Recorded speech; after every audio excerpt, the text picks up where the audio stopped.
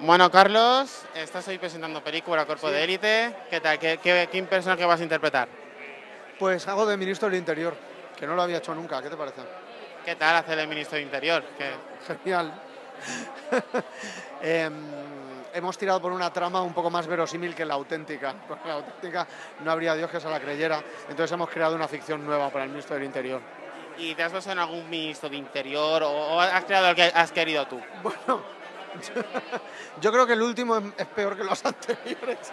Entonces tiene un poquito más de maldad para pillar. Eh, quiero decir, es más cinematográfico. Eso es más interesante. Entonces haces de malo en la peli, haces de malo. Bueno, quiero decir algo de ministro del Interior.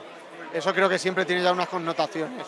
O sea, que siempre haces, estás haciendo últimamente personajes oscuros, el malo de Anacleto, Sí. ministro de Interior. El malo de Anacleto y ministro de Interior son los dos personajes más cabrones que a los que me he enfrentado, efectivamente. ¿Y qué nos vas a proporcionar Cuerpo de Élite? ¿Es una comedia de acción? Básicamente. Como Anacleto, por ejemplo, que es una comedia de acción. Sí, ¿Cómo va esto? Efectivamente, es una comedia de acción. Sí, esta creo que eh, es más humor absurdo, o sea, tiene más que ver con Loca Academia de Policía, con otras películas que recordamos de los 80, a los que los hemos vivido. Y, pero sí, es una acción, efectivamente. Queridos amigos de Movies, soy Carlos Areces. Estoy presentando Cuerpo de Élite, espero que vengáis a verla. Y sobre todo, espero que si me veis por la calle me deis un abrazo y me deis un beso.